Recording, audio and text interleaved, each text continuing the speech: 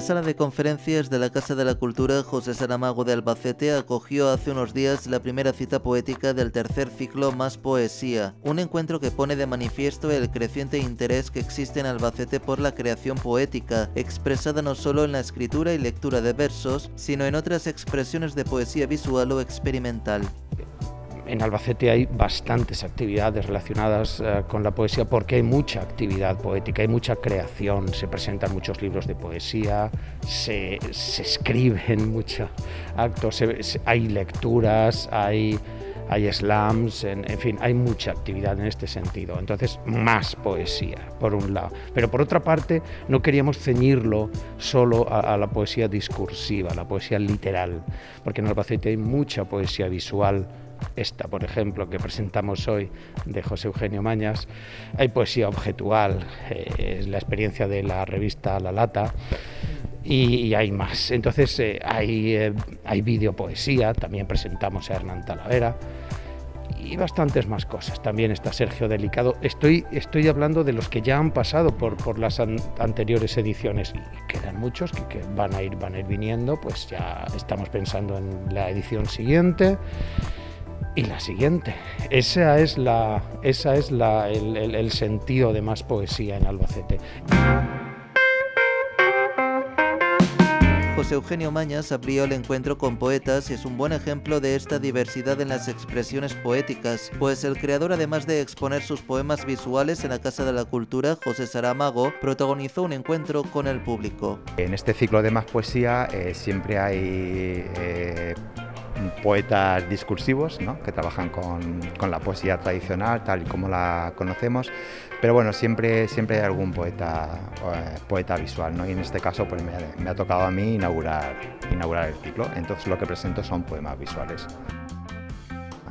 La poesía discursiva o tradicional, como, como la conocemos, que trabaja con, con las palabras y la poesía visual eh, trabaja con otros códigos eh, más cercanos o más próximos a, la imagen. Entonces son, son códigos totalmente, totalmente distintos.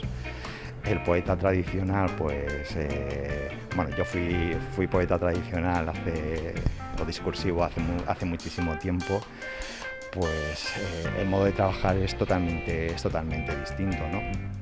Eh, con la poesía, la poesía visual para mí son chispazos, son, tiene mucho de ocurrencia, eh, no tiene una temática tampoco, eh, digamos, lo que es la obra de poesía visual de un poeta visual no, casi nunca tiene una temática coherente, no hay poetas visuales que trabajen siempre con una temática coherente, sino que son, son chispazos para mí.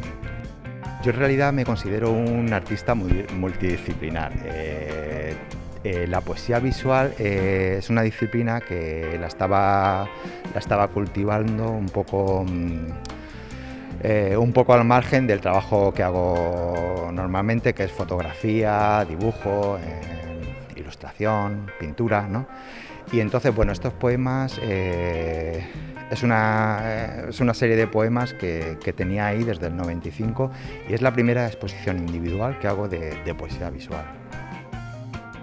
De las dos series que tienes aquí hoy expuestas en la Casa de Cultura José Saramago, cuéntanos en qué consisten cada una, porque son muy diferentes la una y la otra. Eh, bueno, eh, una es, eh, se llama Lengua de Máquina, se llama así porque son imágenes generadas a través de, medios informáticos, del, ordenador, son poemas en blanco y negro.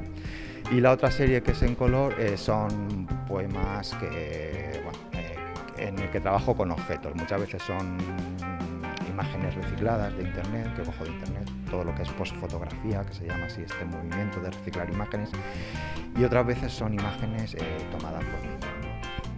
Este tercer ciclo de Más Poesía nos ofrecerá otros dos encuentros con autores. El 25 de febrero la voz que estará presente será la de Mercedes Díaz Villarías y el 21 de marzo el encuentro será con Andrés Gómez Flores.